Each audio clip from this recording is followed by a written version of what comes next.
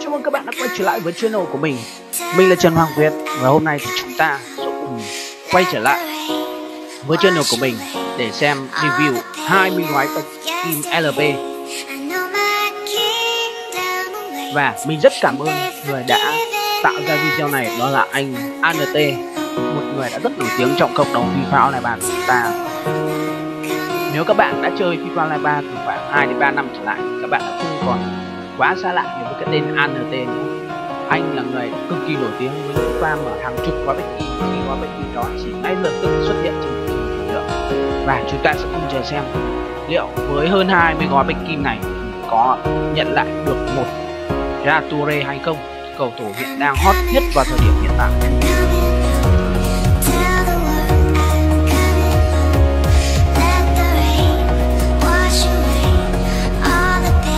Và điểm qua một chút về mùa giải LV này. Với những Jature, Messi, Ronaldo cũng cực kỳ khủng khiếp. Bên cạnh đó sẽ là Terry Alaba hoặc những cái tên tuổi mà hiện tại đang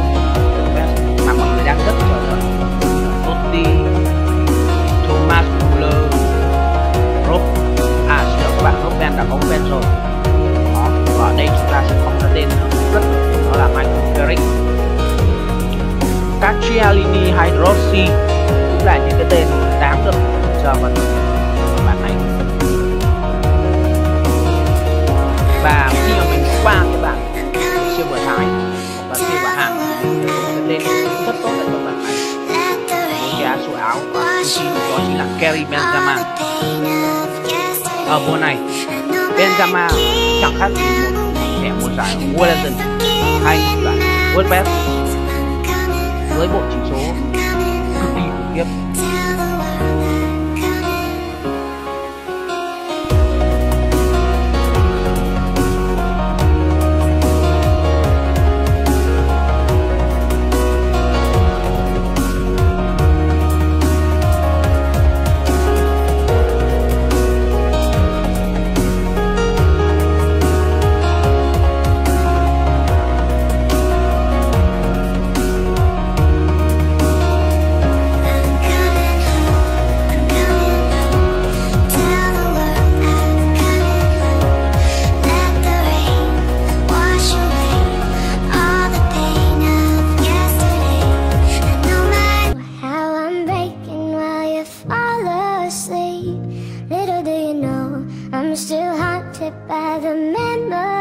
điểm qua mùa giải LP này.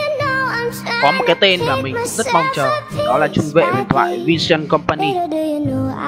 một cái tên đã đi làm với Man City vào một thời.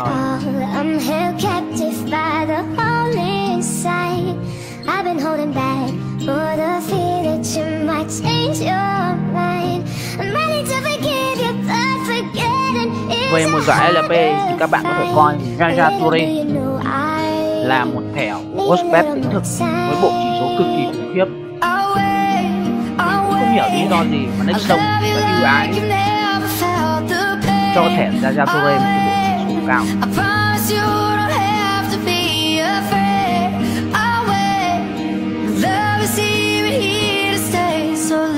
nhìn được bộ chỉ số của Yaya Toure các bạn có thể hoàn toàn đặt anh bên cạnh các tên tuổi Pogba, Wolfsburg hay là Vieira, Gullit tất nhiên thì chúng ta quá nghi ngờ và một cái tên ở thẻ LB mà các bạn chọn so sánh với Wellington rất là khó. Tuy nhiên nếu chỉ tính về cấp độ thẻ cộng một thì thẻ LB của Yaya Toure gọi là một trong những tiền vệ tâm xuất sắc nhất. ở các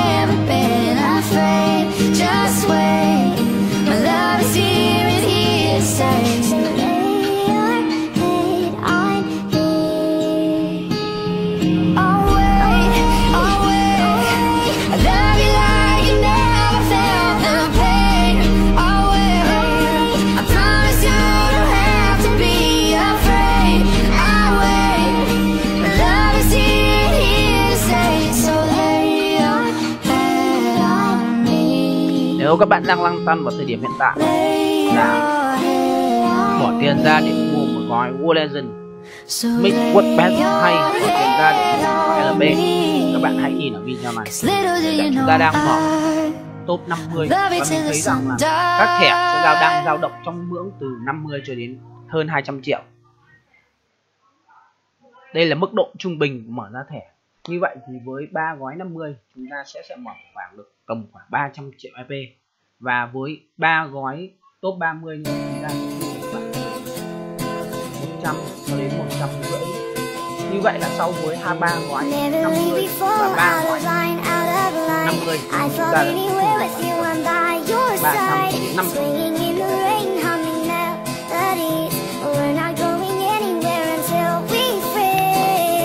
với thời điểm lạm phát như thế này thì mình nghĩ rằng là cái giá này cũng là một cái giá rất tốt.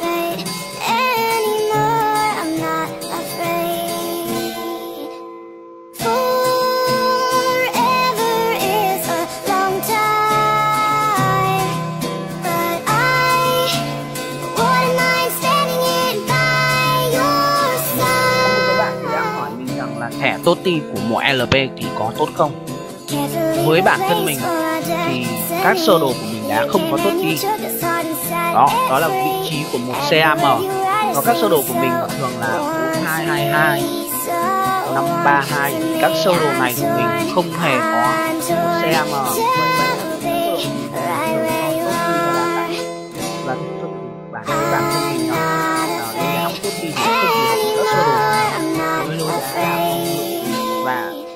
chủ động phản ứng tốc độ cao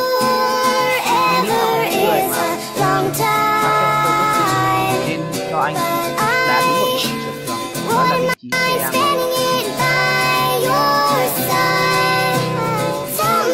Here I go. Mm, me and my friends at the table doing shots, tripping fast, and then we talk slow. And you come over and start up a conversation with just me, and trust me, I'll give it a chance. Now take my hand, stop it, and the man on the jukebox, and then we start to dance. And now I'm singing like,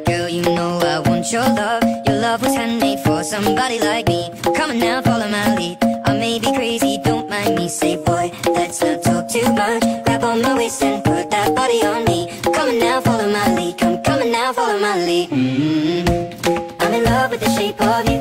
We push and pull like a magnet do. Although my heart is falling too. I'm in love with your body. And last night you were in my room. And now my bed sheets smell like you. Every day discovering something brand new. Well, I'm in love with your body.